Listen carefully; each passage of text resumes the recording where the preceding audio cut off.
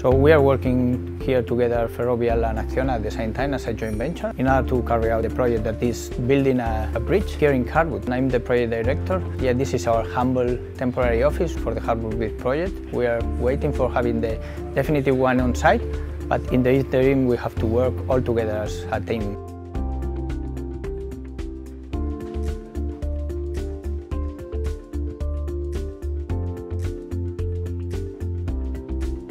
I'm the BIM manager for the Harwood Bridge project and the innovation manager for Ferrovial Agroman Australia. What does BIM mean for the new Ferrovial projects in Australia? BIM brings all the team members together, enabling collaboration from a very early stage of the project. Ferrovial Agroman Australia is implementing BIM for first time at Harwood Bridge project. BIM is changing the way we work. 3D models of the bridge, road alignment, and temporary structures and equipment are combined in one federated model.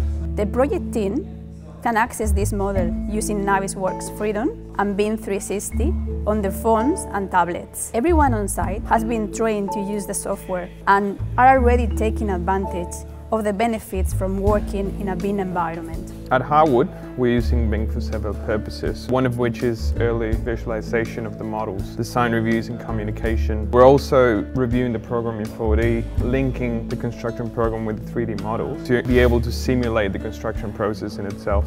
We're using construction simulations for transfer and placement of precast elements and planned traffic simulation. We're obtaining accurate bill of quantities from the BIM model for cost planning and procurement. We're also scaling down the 3D models and printing all the elements. The 3D prints are then used with all stakeholders to improve communication and understanding for potential site issues. BIM has always been a potentially game-changing idea, but nowadays it's a game-changing reality.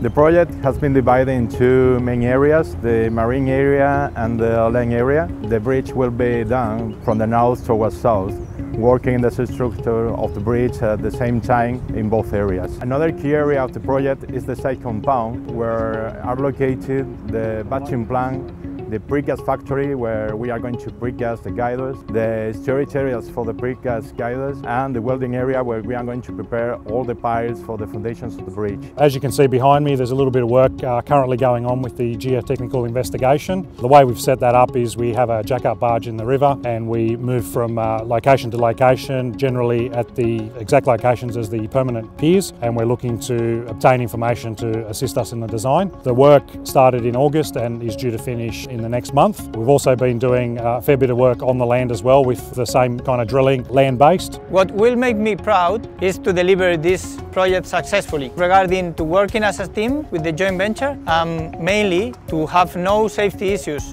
with no environmental incidents also. Working safe is our paramount priority in this project. Safe people in safe places.